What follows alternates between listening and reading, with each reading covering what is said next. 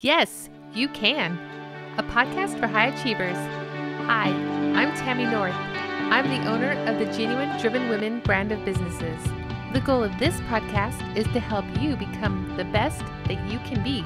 Don't ever doubt the power you have to make the world a better place. Yes, you can make a difference. You have so many objections running through your mind right now. You know what you want to do. You feel it in your soul, but you're stuck in place because your mind is twirling and all you can think is, what if I fail? What if everything goes wrong? What if people judge you? What if your friends don't like you doing this? What if your partner doesn't understand? What if your kids just stare at you like they don't get you at all? What if your parents are upset because they think you should do something more sensible? What if you fail? What if you spend too much money? What if you hit a roadblock? What if you don't make any progress? What if you quit just before you are going to succeed? What if you waste all this time and then you still fail? Or worse, what if you try really hard and nobody notices? What if they think you're an imposter? Thinking like this is what I like to call what ifing yourself to death. But today I want you to try what ifing yourself to life. It's true that both good things and bad things can happen and will happen. Is either one more likely than the other? Is it more likely that bad things will happen than good things? Too often that's what you believe, and when you have such deep seated beliefs that you basically think it's far more likely for a bad outcome than a good outcome, then you will create that reality in your own life. Your belief about the prevalence of negative outcomes will essentially be a fact in your mind, even though you have absolutely zero quantifiable data to back this up. And as a result, you'll look around and you will see other negative things at a much higher rate, all while you literally ignore all the amazing things that you do create or impact every single day. Here's an example I think you can relate to. Think about when you got your first new car, or maybe your last new car, you know, the one you drive every day. Picture it right now. Think about the model, the color, the options, and then consider there's probably at least, I don't know, 200, 250 million other people that can drive in this country. And there's definitely a plethora of car manufacturers, variations of colors, options, models, and styles. But still, how often do you notice somebody driving a car that looks exactly like your car? This exact example is called the Baader-Meinhof cognitive bias, which can lead to confirmation bias. Essentially, when a new event occurs or when you learn new information, then you start to see that then you start to see that new thing everywhere you look. And this leads to confirmation bias because once you see it everywhere, you start to believe that you really are seeing it everywhere, which only proves your thought. There's multiple other types of cognitive biases that impact the way you think and will cause you to come to conclusions that might not be accurate. This is actually great news because this is the opportunity and the fact that you have been waiting for. The fact that your mind is not always accurate is now your opportunity to change your mindset in a way that will serve your future self. The fact is, your brain will trick you. It will trick you in the most surprising ways. I'll talk a lot about other ways your brain can deceive you and will keep you playing small in the next few weeks. So, subscribe so you don't miss that episode because it's a really cool one that I'm working on right now. We're going to have some fun with it. But in the meantime, for today, I just want to focus on all the things you are worrying about, about the ways you think, what if it all goes down the drain, and how you can begin to turn around your thinking. When I was young, I had a thought that I was so shy. And I also heard my mom's friends say that I would crumble if I was ever out of my comfort zone and that I should stay in my quiet, safe Colorado farm town forever. I mean, by the way, I was probably under the age of seven when I heard these things most often, but I, along my childhood life, I also heard things like, all men will cheat on you. Men are never faithful. Men will leave you. You better be sure you can always take care of yourself because you will end up alone. So you need to be independent. All of these thoughts were shared with me multiple times in the 1970s, and it was actually all 100% delivered with my best interest at heart. That was a different time when women were not guaranteed to work out of their home. A housewife and a stay at home mom still accounted for high percentages of adult women that I knew at that time. So I think the adults in my own world did not want me to think that I had to get married and also that I did not have to depend on anybody else. Looking back on my life, these strong voices did impact my life both for good and for bad in some ways. Trust me when I say, though, I love my current life and I'm thankful for all the experiences that made me who I am now. But still, let me explain how some of this worked out. First, me thinking that I was shy. I think looking back, that it took me till I was about 24 years old and actively in the Navy, that I had been in the Navy for, you know, three or four years at that point before I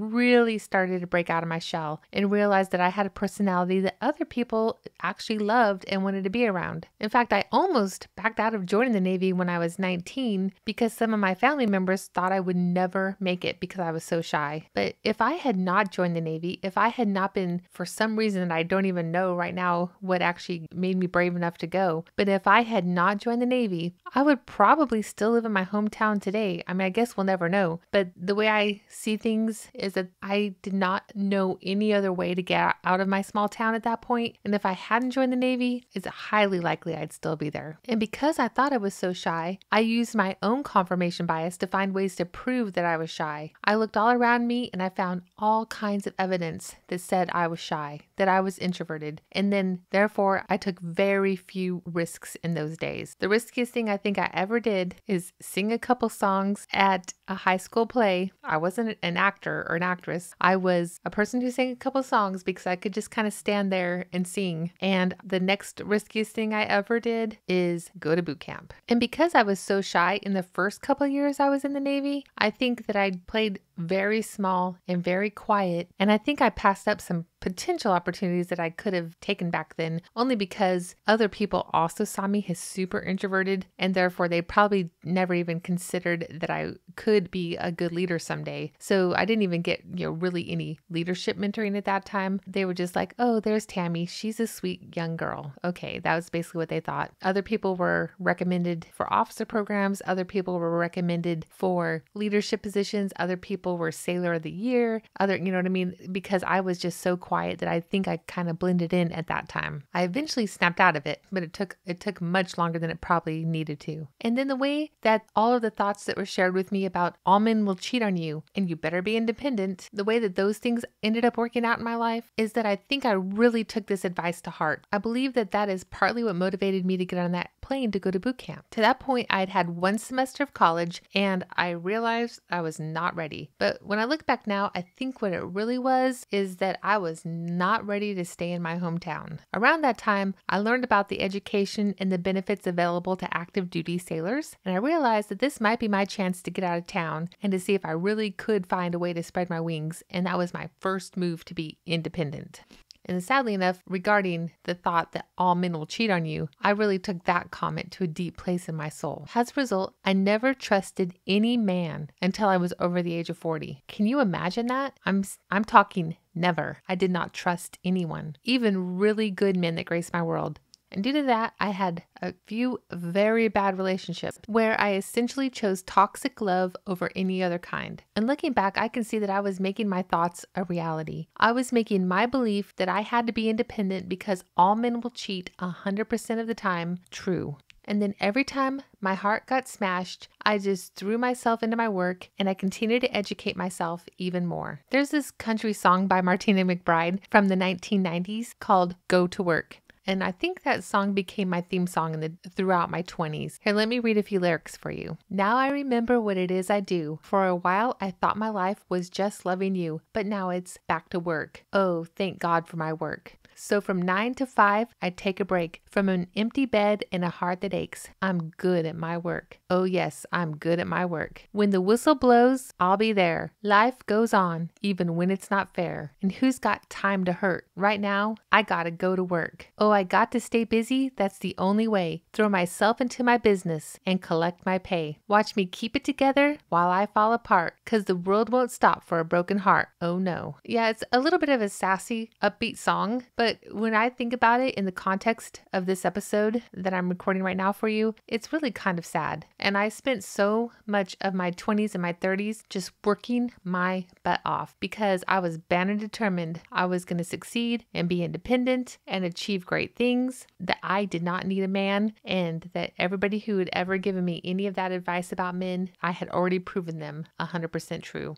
So was my heart being broken because I chose bad relationships? So was my heart being broken because I chose bad relationships? Or was it because when I was in the relationship, I assumed they were cheating, even if they weren't? I would say it was actually both, depending on the relationship. But either way, I was the one who took the action to be in the relationship, and I'm the one who took the action not to trust anybody. Could I have chosen better people? Were they available? Yeah, looking back, they were. But I made decisions to choose the ones who would break my heart. I made the choice to believe the good ones were just as bad as the toxic ones. And as a result, I never had a good relationship until I did the work to deal with my own cognitive biases, my own thoughts, and clean them up. And then at that time, when I made a when I decided, okay, I'm going to, going to clean up my mind, I'm going to get things straight, and I'm going to stop making these poor choices about love. At that time, I was about mm, 38 years old, and I decided that I would rather be in no relationship at all and that I wouldn't do it again unless it was healthy, loving, and a mutually desirable relationship. And at that point, I spent another five years, just me and my kids, growing, learning, loving myself, and I really started taking some pretty cool risks. And after five years of never even holding a man's hand, my current husband walked through the door. He's an amazing, accomplished, loving, and strong man. He's a good man, and I was ready for him. I had done the mindset work to be ready for this relationship. But at that point, I had almost four decades of mindset to undo. So trust me, I'm not perfect, but he is patient and I want to be here. So we figure it out. And every year it gets better and better. I only wish that I could go back and tell my 17 year old self to be patient. The kind of love we all deserve will come.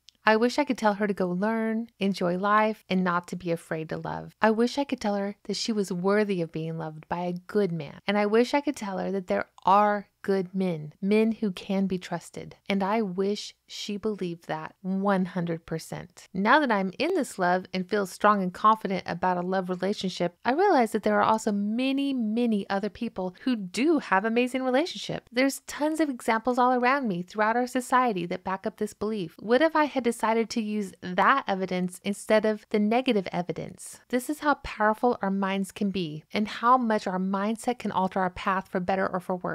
Today, Today, I want you to begin doing the work to believe that you are worthy now, to believe that you deserve your biggest dreams, to believe that you are lovable, to believe that you can achieve whatever it is you want, that you can and you will. What if you believed your biggest dream will come true? What if you started to walk and talk like it already had? What if you took action every day as if that was already your reality? What would you do differently than you are doing right now? What would that change for you? Okay, I have an exercise for you today, a what if exercise that I'd like to walk you through. And I'm actually going to do it again today because I was talking to my executive coach the other day and I realized we were reviewing my goals. I opened my planner and started to read to her my goals from this year. And I realized most of my really big goals that I wrote down two to three years ago have already become a reality, and that the goals I have written down now were actually kind of small compared to the ones I used to dream. So I'm going to update my 2020 goals to re- get ready for 2021. And I'm going to add two bigger goals that I now have. And if you considered where I started, that super shy small town girl from the Colorado Plains, these goals are going to be pretty surprising. And that's what I want for you too. As we go through 2021, I'll share my goals with you, but today I'm going to work on the mindset to make them real in my own life. And I want you to think of at least one really big goal, a surprising goal for your life, you know, something you're willing to really work on and work toward, something that is possible because at least one other person in the world has done it, and something that you truly believe you were born to do. Okay, think about that. Do you have the goal in your head right now? When you do have a clear vision of that goal, get a blank piece of paper and write down the goal at the top of the piece of paper. Draw a horizontal line under it, and then below that line, divide your paper into two columns by drawing one vertical line down the sheet of paper. In the left column, write what if, and then all the way down the left column, write every single thing you could think of that could go wrong when you think of that goal. What's going to get in the way of you achieving that goal? Think of all of everything your own mindset, your own limiting beliefs, potential other things that could go wrong, you know, money, time, um, other people, whatever. You write down whatever you need to write down in that left column. And then once you're through with that, move over to the right column. On the right side, write what if at the top of that column. And then under that, I want you to write out every single thing that could possibly go right. What if you become a millionaire? What if you meet the love of your life? What if you start a business and it works? You get the idea. I want you to write down every single thing you can think of on both sides and then review the negative side. And if you're having any trouble thinking of positive comments. At the very minimum, make sure that every negative comment has a positive but opposite comment on the right side. And then once you finish getting all of your thoughts out, Fold your paper in half and stare at the positive side. Just really take it in, focus on it. Imagine who you will be when all of this becomes your reality. Burn it into your brain and save this paper. And anytime you have a negative thought about this goal, go and write it down on the negative side of the paper. Use as many sheets as you need to, and then always and immediately write the opposite positive thought on the other side. If you really want to get this into your brain, incorporate mindfulness and meditation into your morning routine and spend at least five minutes, but longer if you can 5, 10, 15 minutes imagining that you have already achieved this goal. Imagine the positive side is your reality. There you are in the early, early morning, drinking a cup of coffee. It's peaceful and quiet, and there's nothing else happening. Just close your eyes and visualize that what you wrote down on the right side of that paper is who you are now. Feel it, see through her eyes, taste your coffee with her lips. With a kind and generous spirit, interact with those that you believe you'll see when you're walking around the world as that person. Speak with her voice. What is she wearing? Where is she standing? How does she feel today? What do you notice about her? What does she believe? Look at her shoes. Look at her fingernails. Look at her hair. Look at her eyes. See how they sparkle. Feel her blood coursing through your veins. This is real. You can feel her breeze on your face. Stay there, letting the warmth of her sunshine warm your cheeks. Be her. While this vision is fresh in your mind, Plan for your day as she would if she were the one holding your planner. Plan what you'll do when you'll do it to include how you're going to nourish your body. How are you going to fuel your mind to prepare for this new reality? Once you begin your day,